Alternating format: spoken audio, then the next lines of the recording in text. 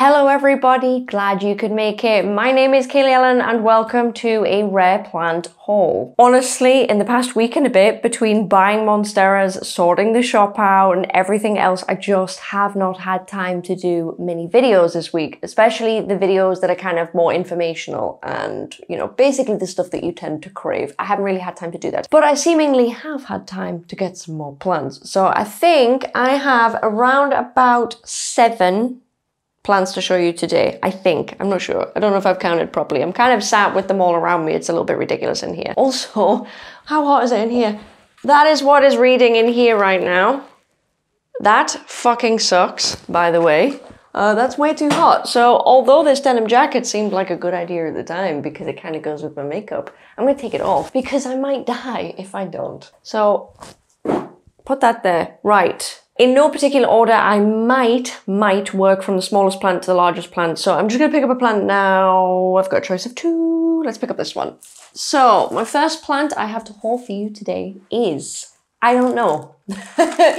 So this here is a type of anthurium. Now I bought it as something else, but it isn't. I actually thought it was Dark Mama when I got it, but I don't think it is. I think it is something else. I think it is a different kind of hybrid. It's still very beautiful, don't get me wrong. It's very, very velvety, and no doubt it will grow to be absolutely stunning. But this is her. Very, very nice. Obviously, it's in my shop packaging still. I brought it straight from the shop, so that's why it's in this very unsexy packaging but I've literally just come back this morning with a lot of stuff. So that is her. She is very, very beautiful.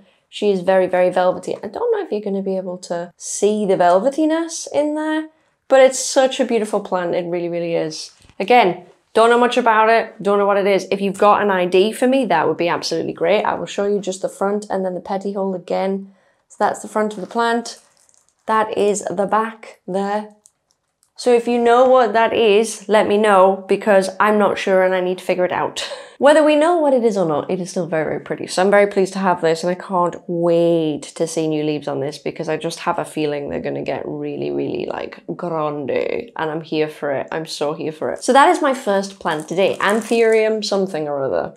Oh, this is small as well. Let's go for this one.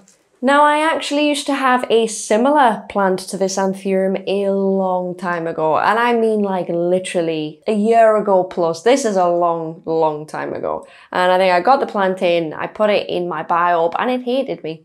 And it continued to hate me pretty much forever. So I think I gave up on it in the end. I think it might have died, I don't know. Just nothing I could do for this plant helped.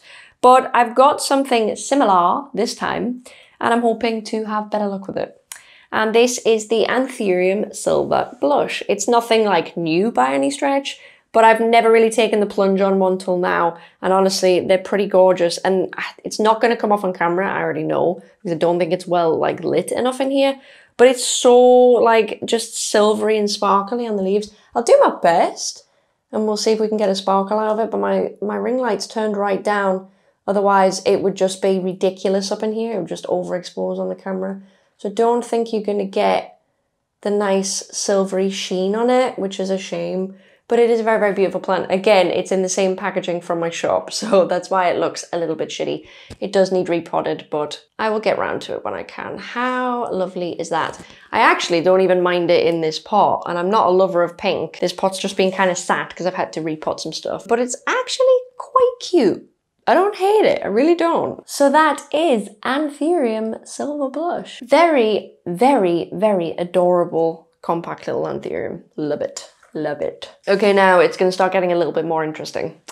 I'm not going to lie, let's put her down there. I've got some choices now. Oh, can you see this in the back? I might just have to cover this now because this is, mm, this is a thing. So obviously I have too many Florida ghosts. People that watch me regularly know this about me. It doesn't really end as far as Florida ghosts are concerned. I have a problem. It's a bit of an addiction. And I might have went and brought another one into the house. So this actually came into my shop very, very recently, along with many others. So if you're wanting a ghost in the next restock that I'm going to do, don't worry, I got you covered. It's not from the box of ghosts that went missing either, by the way. That's, that's gone. I don't even know where that is. But this is simply a Florida ghost. But obviously I've picked it for one, the size of the leaves, and two, this amazing like reverse variegation that can happen on ghosts. Don't get me wrong, it can happen. I have another one up here actually with the same thing on, you just can't see it in the background right now. But it's so pretty. Let me show you again. Again, same shitty packaging from my shop. Let me just show you that. Trying to get it all in the frame there. I believe that is in the frame. That is a pretty, pretty plant. There's the second leaf there. Obviously, it's recently been shipped, so that's why it looks like this. And there is the third. That is just the lushest, lushest plant. Do I need another Florida Ghost? No, obviously not. Obviously not. But do I want more Florida Ghost? Yes, 100%. I would just have a forest in here, Florida Ghost, like lining the walls if I could. Imagine how amazing that would look. Oh my god. Mm. So yes, this is another very unnecessary Philodendron Florida Ghost. Very, very, very beautiful plants. I will have some of these available, but they are not available for around a month because they will need to acclimate. They've all come reasonably good like this. This is, this is to be honest, a reasonably good shipment. But that's not enough for me. I want to see new roots. So I'm going to wait a month and then I will probably put them on the shop. So do not worry. I will keep you posted because I know so many people are desperate for these plants. It's not even funny. But you will get some in a month. Also, let me pop this back because, oh my god, I don't know where to put her. Does she look good there? Probably not. Can't tell. Really can't tell. My eyes are terrible. Right, that's another plant down. So, oh, that one's interesting over there. That one's really interesting down there. That one's very interesting there as well. Uh, let's grab this one. This is very, very cool. I like this one very, very much. Right, so the next plant I have to show you guys, I actually saw this in Thailand quite a lot. Like it was everywhere. But the, the plants that I saw were like way bigger than this. Like no comparison. So I've got in a baby just because I, I quite like it and I want to grow one out in the shop and get it to be ridiculous like size. So that is why I went ahead and purchased a wonderful philodendron Giganteum variegata. Except, obviously, it's not so giganteum right now. it's obviously just a baby. It's got a new leaf coming through here. Let me see if you can see that there.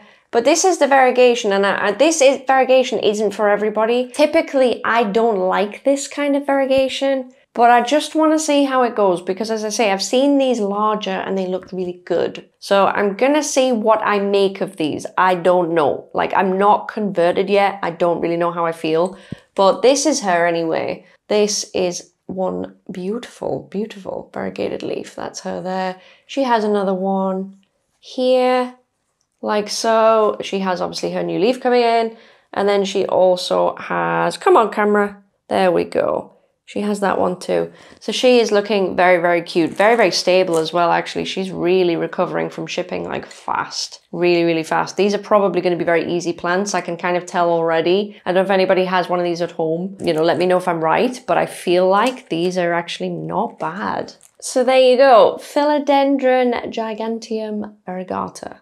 Do not be fooled, guys. These get absolutely fucking massive. Trust me. Google it. Google it. I don't want to spoil it for you by putting a picture up, but please, honestly, just Google it and you'll see how big these bad boys get. Really, really good. Right, where am I going to put him?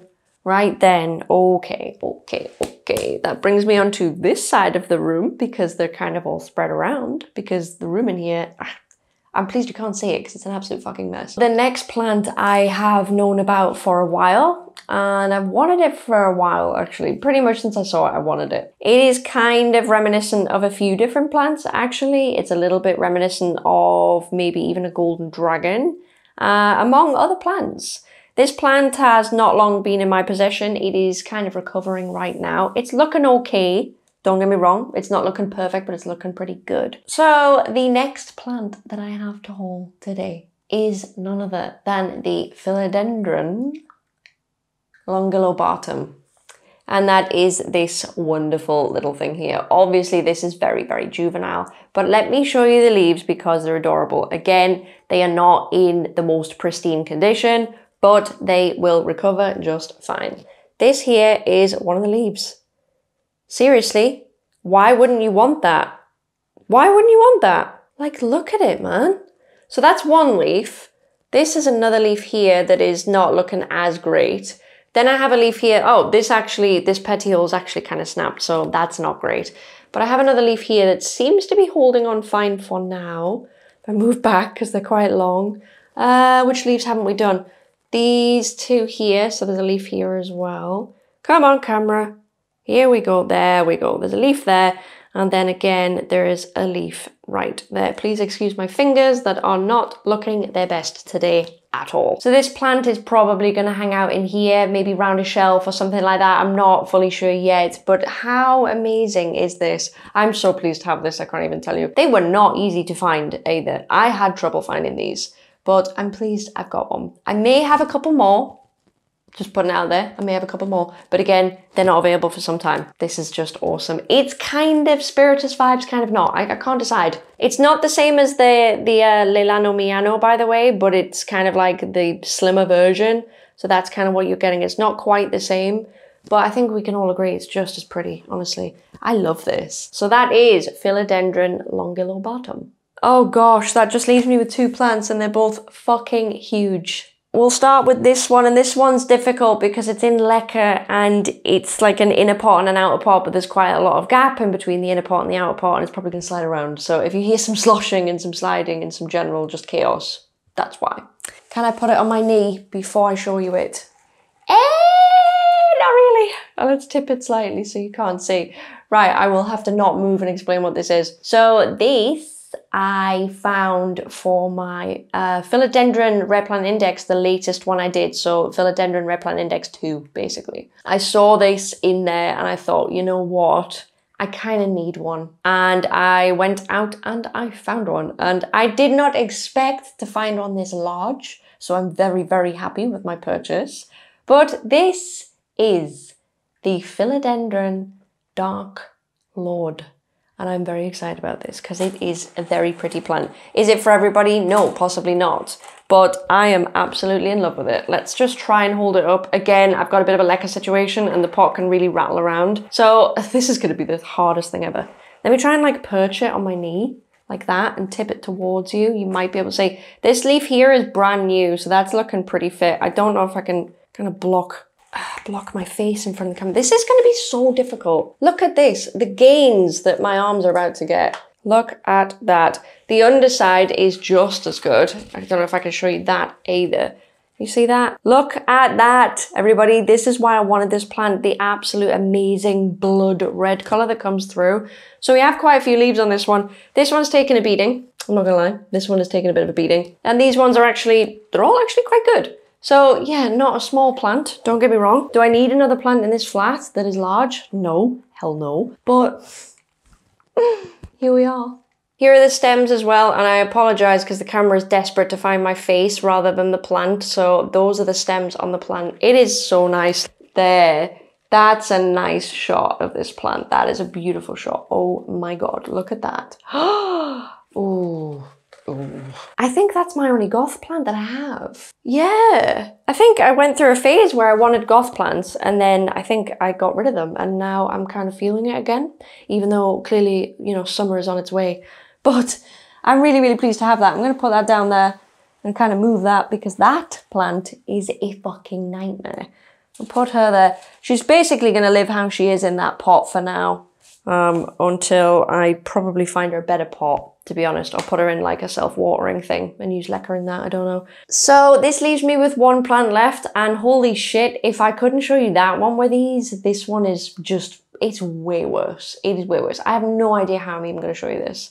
But I probably have to insert pictures because I believe it's probably easier. Let me just attempt to get the plant. So I've had this for a little while as it happens that this isn't actually something that I've just got. I've had this a little while. It's just I haven't had time to show it. It wasn't in the shop tour. I had to get moved out of the way because the shop was so full of stuff that you couldn't walk around it like very efficiently when I filmed it. So plot twist, I had more stock than what you saw in the video because it was so full of stock. Half the floor was probably covered in plants, so there was a lot in there. So this is one of the things that was kind of moved out of the way. So you'll see why it was moved out of the way, no doubt. Some of you may know what is coming, some of you may not, but this is my giant Alocasia zebrina. Yes, these are just the stems. And that is because this plant is absolutely huge. So I'm gonna have to show you this bit by bit. So you've got your pot there, which is obviously huge.